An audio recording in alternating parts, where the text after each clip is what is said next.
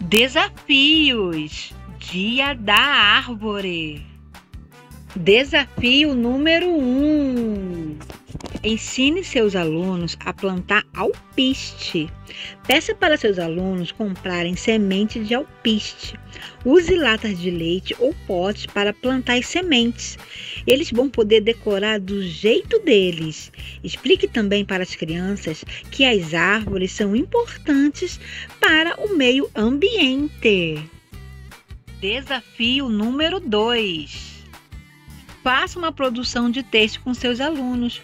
O professor pedirá que os alunos imaginem que são uma árvore, fechando assim seus olhos, e eles poderão imaginar os seus galhos, suas folhas, os seus frutos e etc. Os alunos irão então, não é, escrever esse texto e depois poderão desenhar sua árvore e enfeitar do jeito que quiser. Desafio número 3.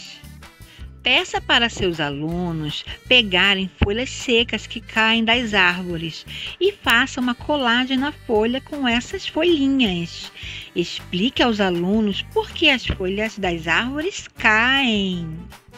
Desafio número 4: Árvore de prato de papel.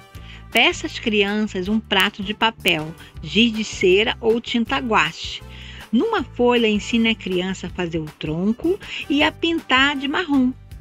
No prato de papel, a criança poderá pintar de verde e fazer bolinhas com os dedos de vermelho, é, imaginando né, uma árvore frutífera.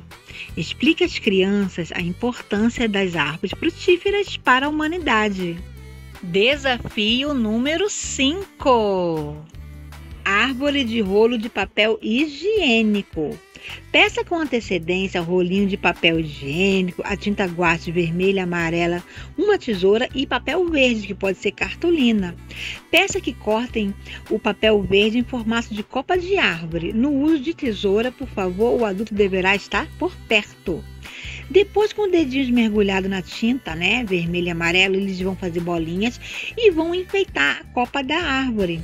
A criança poderá colar a copa da árvore na frente do rolinho de papel higiênico ou, se quiser, cortar, não é, do lado do papel higiênico duas fendinhas e ali colocar a copa da árvore.